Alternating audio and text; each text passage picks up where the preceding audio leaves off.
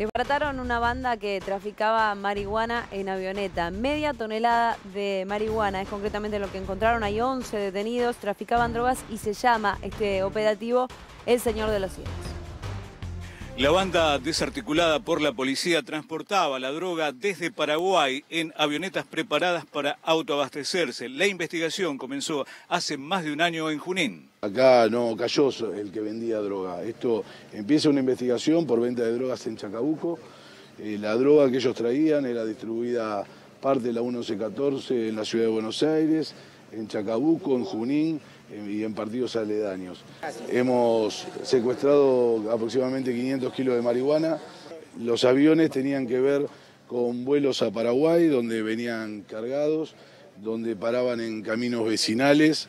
Eh, se tiene detectado, de acuerdo a la escucha y a la investigación, de que el año pasado hubo por lo menos 30 vuelos el resultado del operativo El Señor de los Cielos, realizado por la Policía de la Provincia de Buenos Aires, dio un resultado de 11 personas detenidas, entre ellos 6 paraguayos, 4 de nacionalidad argentina, 3 avionetas secuestradas, 500 kilos de marihuana que iban a ser distribuidas en distintos puntos de la Provincia de Buenos Aires y también en Capital Federal. El operativo, dijo el ministro, fue un éxito tras 15 meses de investigación.